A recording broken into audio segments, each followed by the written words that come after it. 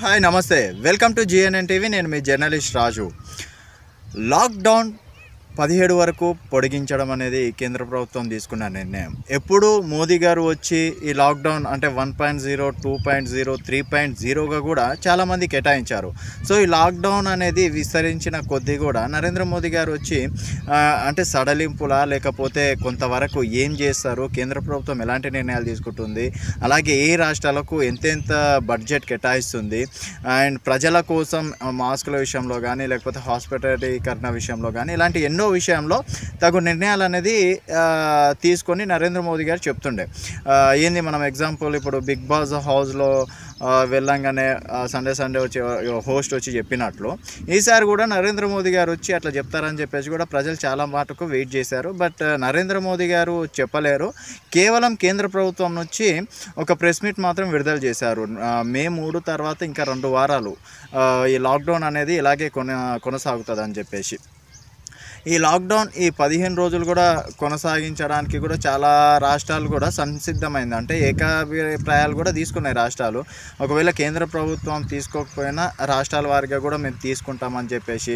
అలాగే గతంలో కూడా తెలంగాణ రాష్ట్ర ప్రభుత్వం కేసీఆర్ అనడం కానీ ఇంకోటి పశ్చిమ బెంగాల్ వాళ్ళు పశ్చిమ బెంగాల్ మమతా బెనర్జీ గారు కూడా దాదాపుగా ఈ లాక్డౌన్ అనేది మే మొత్తం మేము కొనసాగుతామని చెప్పేసి కూడా ప్రకటించాయి.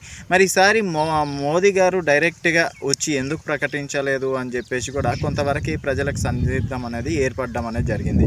సో అలాగే ఈ లాక్డౌన్ మే పదిహేడు వరకు కొనసాగిస్తూ కొన్ని వాటికి సడలింపులు అనేది ఉంటాయి. అలాగే దాదాపుగా ఈ దేశం మొత్తం మూడు జోన్గా విభజించ విభజించారు. కేసులు ఎక్కువ ఉన్న రాష్ట్రాలలో జిల్లాలలో అయితే రెడ్ జోన్గా అలాగే కొంతవరకు తగ్గుముఖం ఉన్న జిల్లాలలో ఏమో ఆరెంజ్ జోన్గా.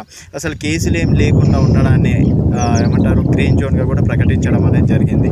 సో ఈ గ్రీన్ జోన్ ఆరెంజ్ జోన్ వాళ్ళకి కొన్ని సడలింపులు అనేది చెప్తా అన్నారు. మరి అది ఎప్పుడు చెప్తారో వేచి చూడాల్సిన విషయం. ఏ వాటికి సడలింపు చేస్తారో ఇప్పుడు వ్యవసాయం అయితే పక్కాగా ఉంటుంది. అలాగే భవన నిర్మాణ కూలీలు కానీ అలాగే వేరే రాష్ట్రం ప్రజలు కూడా ఇంకా చాలామంది ఇక్కడనే ఉన్నారు. కూలీలు రాష్ట్ర ప్రజలు పర్యాటకులు.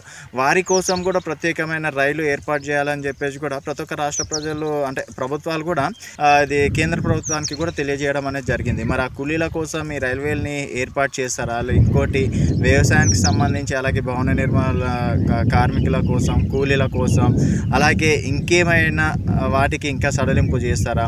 ఇప్పటికే ఈ గ్రీన్ జోన్ వాళ్ళకి మద్యం కూడా అందుబాటులో ఉంటుంది.